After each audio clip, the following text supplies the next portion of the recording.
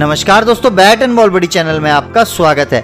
आज हम बात करेंगे रिकी पॉन्टिंग की भविष्यवाणी, बॉर्डर गावस्कर ट्रॉफी 2024-25 में भारत वर्सेस ऑस्ट्रेलिया। और मुझे खुशी है कि आप हमारे साथ हैं। गैस चैनल पर नए हैं तो चैनल सब्सक्राइब ज़रूर करना। यहाँ आपको क्रिकेट और स्पोर्ट्स से जुड़े सारे अपडेट मिलते हैं।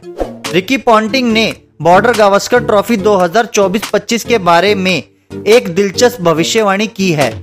उनके मुताबिक टीम इंडिया सिर्फ़ एक मैच जीतेगी और ऑस्ट्रेलिया सीरीज़ तीन बाय एक से अपने नाम करेगी। पॉन्टिंग ने इस सीरीज़ को बहुत कंपेटिटर बताया और कहा कि ऑस्ट्रेलिया को अपनी पिछली हारों का बदला लेना होगा। पहली बार भारत और ऑस्ट्रेलिया पाँच मैचों की टेस्ट सीरीज़ खेलेगी, जो कि रोमांचक होने वाली है। पिछले दो दशकों में भारत ने ऑस्ट्रेलिया को उनके घर में हराया है। और 2023 में अपनी सरजमी पर भी ऑस्ट्रेलिया को हराया था। हालाँकि जून में वर्ल्ड टेस्ट चैंपियनशिप का फाइनल ऑस्ट्रेलिया ने जीता था। पॉन्टिंग ने भविष्यवाणी की कि सीरीज़ में काफ़ी ड्रॉ भी हो सकता है और खराब मौसम भी प्रभावित कर सकता है, लेकिन उनकी राय में ऑस्ट्रेलिया सीरीज़ तीन बाय एक से जीत सकता है। गाइज़ वीडियो पसंद आई तो वीडियो को लाइक करना